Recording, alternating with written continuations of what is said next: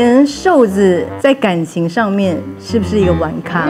这我要说真的，他其实不是个玩咖，你发誓，抿着你的胸脯，发誓。他，你不要动，他这辈子没有劈，在结婚前没有劈过腿，地方是，如果他限速五十的话，我就四十，四十、四十五，慢慢的这样子。然后你也不会轻易超车。哦，就尽量开车比较不利落啦，我我自己看来是他开车不利落，你大概可以开到多少？如果限速五十，我可能要去道安哦。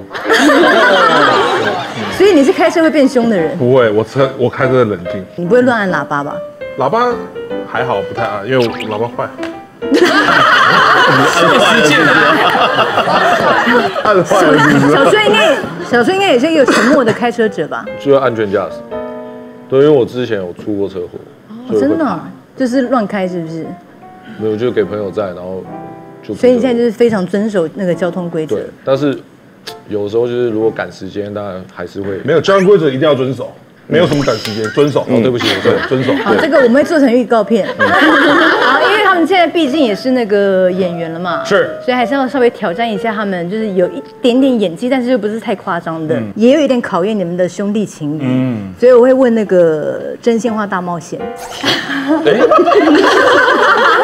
不是演不是演技大考验啊，因为他们如果真心话不好好回答的话，那大冒险你们每一笔就是可以来个小演技啊。哦哇哦，大渊，啊，以前瘦子在感情上面是不是一个玩咖？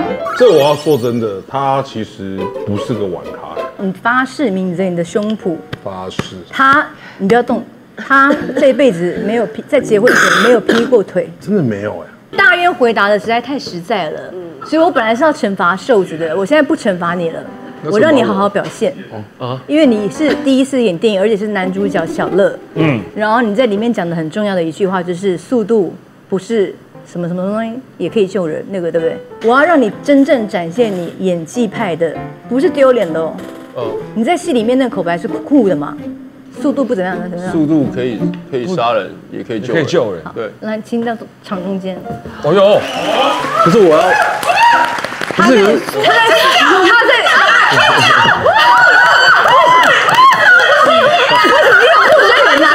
你好大声哦！他演的是《宿命道》，什么时候会上映？四月二十七号，四月二十七号。对对对然后里面你本来是一个叛逆的赛车手，后来变成去开救护车，对所以你才会讲这句话：对速度可以杀人，也可以救人。对，本来你先用原因讲一次，好难哦，演戏真的很难哎。不会不会，你是演员，你现在就幻想你是梁朝伟。速度可以杀人，也可以救人。很帅。刚刚有他眼神是有戏的我可以我来做了吗？你可以看，你们觉得过关吗？过关过关过关。